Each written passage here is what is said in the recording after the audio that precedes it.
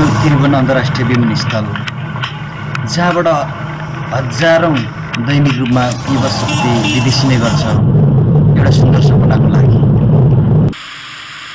काठमाडौँ छुट्यो हेर्दा हेर्दै आकाशमाथि उडिहाले म। अनि यो गन्तव्यको स्थान मलेसिया। मलेसिया सहर एउटा सुन्दर सहर हजारौँ नेपालीहरूको सपनाको सहर मलेसिया।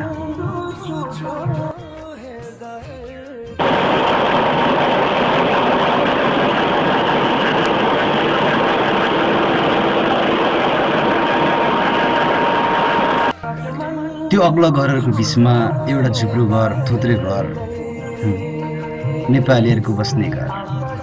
मेरो चाहिँ झापा जिल्ला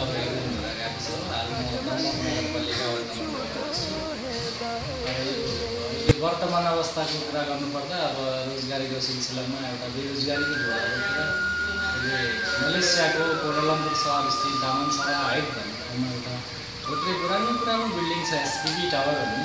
त्यस एसपिबी टावरमा दुई वर्षदेखि सेक्युरिटी गार्डको रूपमा राखेको छ।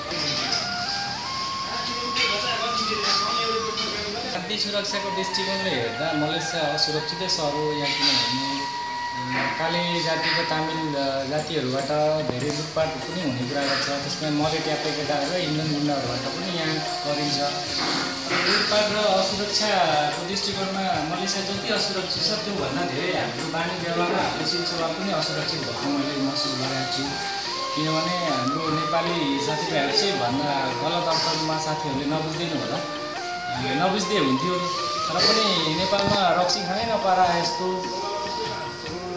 रक्सी खानै नपारा यस्तो गरेर सायद रक्सी खाने हल्ला गर्ने अनि राति हिँड्ने दिउँसो हिँड्ने एक्लै हिँड्ने अँध्यारो कुना पनि हेर्ने तरिकाले पनि अलिकति असुरक्षा भएको हो कि जस्तो लाग्छ मलाई त्यसमा हामी पनि जिम्मेवार छौँ त साथै ठाउँ चाहिँ धेरै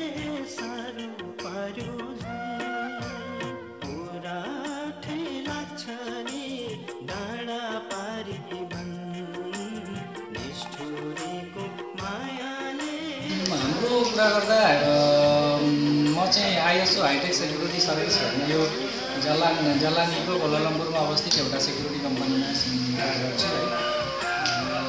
मलेसियामा वास्तवमा सेक्युरिटी गार्डको इज्जत छैन जस्तो मलाई लाग्छ। कम्पनीबाट ल्याउने सवालमा हिजो मेन पावरबाट ल्याउने सवालमा कुन अर्थमा ल्यायो कुनमा ल्यायो त्यो यो सेक्युरिटी गार्डमा नियम लागु हुँदो रहेनछ। हामीले कम्पनीबाट पाउने सुविधामा अब कति पाइएको छ भन्दा त साथीहरूको यहाँ कसै कसै साथीहरूको दुई वर्षदेखि भिसा नलागेको अवस्था पनि छ कसै कसैको लागेको अवस्था पनि छ कसै कसैको अब महिनैभरि ओटी ओटी पाएको अवस्था पनि छ कसैको छैन। यहाँ हाम्रो कुरा गर्नुपर्दा व्यक्तिहरूको मेडिकलको सुविधा पनि छैन। सामान्य बिमारी भयो भने पनि आफै क्लिनिक जानुपर्ने यहाँको महँगो महँगो औषधि आफैले गर्नुपर्ने आदि इत्यादि समस्याहरू पनि यहाँ छन् भनेदेखि अरू सुविधाहरू के हुनु र अब? सबै दुविधै दुविधा छ। यहाँ सुविधा भन्दा पनि दुविधै दुविधा छ। त्यसमा पनि अब मलेसिया बसेको क्रममा त अहिलेको यो मलेसियाको आर्थिक मन्दीले अब घरमा घाटको बन्ने अवस्था पो भइसकेको छ।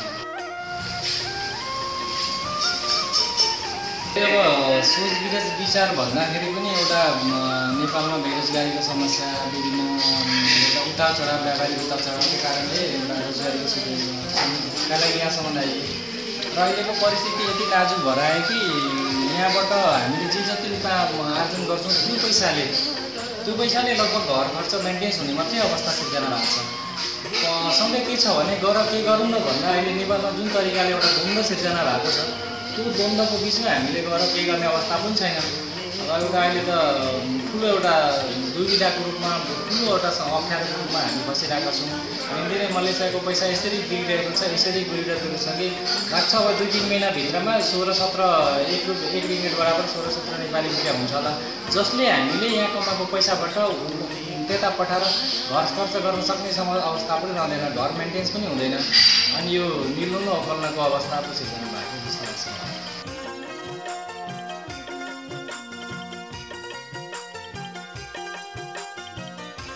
नेपाली दाजुभाइ दिदीबहिनीहरू मलेसिया आउन खोजिरहनु भएको छ। सायद कतिजनाले पासपोर्टको एप्लाई गर्नुभएको होला प्रोसेसिङमा हुनुहुन्छ भने त्यो सोचलाई अहिले थन्काइदिनु होला। किनभने मलेसियामा अहिले तत्काल तपाईँहरू आउनुभयो भने तपाईँहरूले आफूले लगानी गरेको पैसा पनि रिटर्न पाउने सम्भावना छैन सधैँ अहिले म यस्तै तरिकाको आर्थिक गिरावट आर्थिक मन्दी आउने हो भने कुनै पनि समयमा यहाँका कम्पनीहरू बन्द हुने अवस्था छन्। अनि बिचमा आएको दुई तिन महिना पछाडि फर्केर जानुपर्ने अवस्था। को कारणले एउटा ठुलो आर्थिक समस्या पारिवारिक आर्थिक समस्या दुनियाँ पर्न अवस्था छ। त्यसैले जो त्यो सोचमा हुनुहुन्छ जसको त्यो खालको विचार छ उहाँहरूलाई त अहिले वर्तमान अवस्थामा मलेसिया नआउनको लागि। भन्न चाहन्छु वास्तविक त यही हो। परदेशीको जिन्दगी सुन्दर सपनाभित्र लुकेको एउटा रहस्य। तर यहाँ आफन्त परिवारको बुझाइ निटन्त फरक छ। न त सरकारले राम्रोसँग बुझेको छ। खैर।